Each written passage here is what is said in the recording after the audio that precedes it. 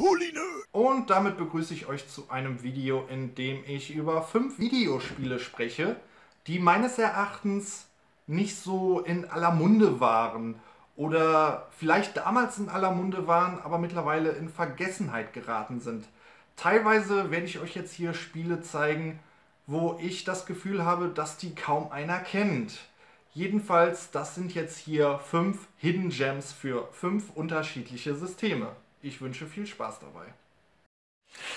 Spider-Man 2, in dem Falle für die klassische Xbox, das ist ein Spiel, das gab es auch für unterschiedliche Systeme, sprich auch für PC, PS2 und sogar für die GameCube.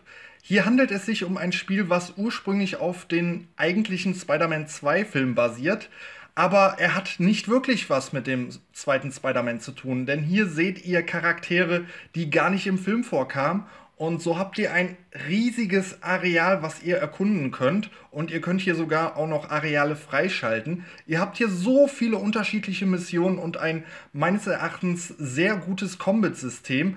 Ein Spiel, was man relativ günstig bekommt und immer noch Spaß macht, meines Erachtens. Eine absolute Empfehlung für Spider-Man 2, eines der meines Erachtens besten Spider-Man-Games. Spider-Man 2 in dem Falle für die klassische Xbox. Sid Meier's Pirates. In dem Falle das Remake für die PSP. Hier habt ihr meines Erachtens auch die stärkste Version, beziehungsweise mit die stärkste Version. Das gab es auch auf der klassischen Xbox. Es handelt sich hier tatsächlich um ein Remake des besagten Pirates von Sid Meier ein damaliger Klassiker im neuen Gewand von 2K gepublished und hier habt ihr noch mehr Möglichkeiten, als ihr im ursprünglichen Spiel habt. Hier könnt ihr natürlich wieder Inseln erkunden, ihr könnt Aufträge von diversen Gruppen annehmen und ihr habt hier wirklich ein riesiges Piratenerlebnis. Es gab nie ein besseres Piratenspiel. Sid Meier's Pirates hier im neuen Gewand und es macht wirklich Spaß. Ebenfalls ein Titel, den man sehr günstig bekommt. Eine absolute Empfehlung von meiner Seite Sid Meier's Pirates für die PSP. Sanwine für die PlayStation 1. Hierbei handelt es sich um einen Arena-Shooter, ja ich würde schon fast sagen um einen Twin-Stick-Shooter, der in einem sehr minimalistischen Gewand daherkommt. Hier habt ihr es wirklich mit einem klassischen Arcade-Shooter zu tun, der in seiner Overhead-Ansicht ziemlich gut daherkommt. Er lässt sich wirklich gut steuern und es ist ein wirklich gelungenes Spielerlebnis. Ich kann dieses Spiel absolut empfehlen auch wenn hier leider ein Multiplayer-Modus fehlt. Nichtsdestotrotz ein wirklich, wirklich unbekannter Titel.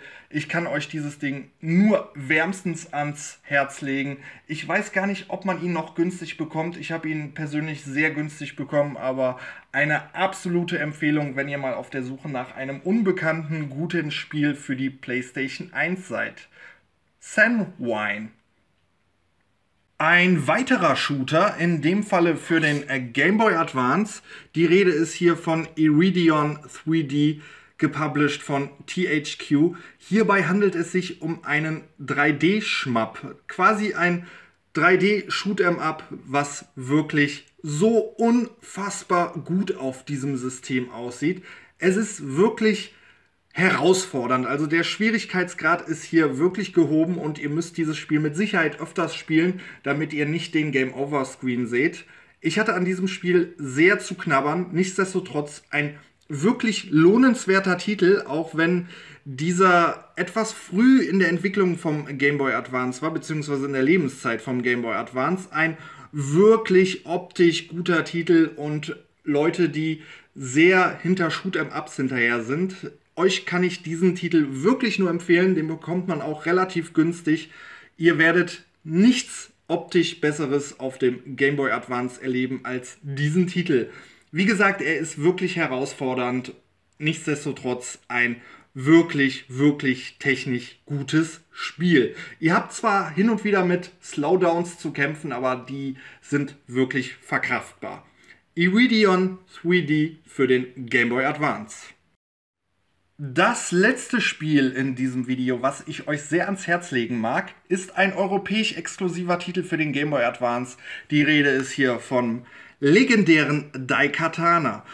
Im Gegensatz zu seiner N64 und PC-Variante hat man hier ein bisschen die Story umgeändert. Es ist ein komplett anderes Spiel im Overhead-Stil, im klassischen Zelda-Gewand, würde ich schon fast sagen. Hier habt ihr ein klassisches Inventarsystem, wirklich fordernde Rätsel, teilweise wirklich herausfordernd, was die Bosse angeht.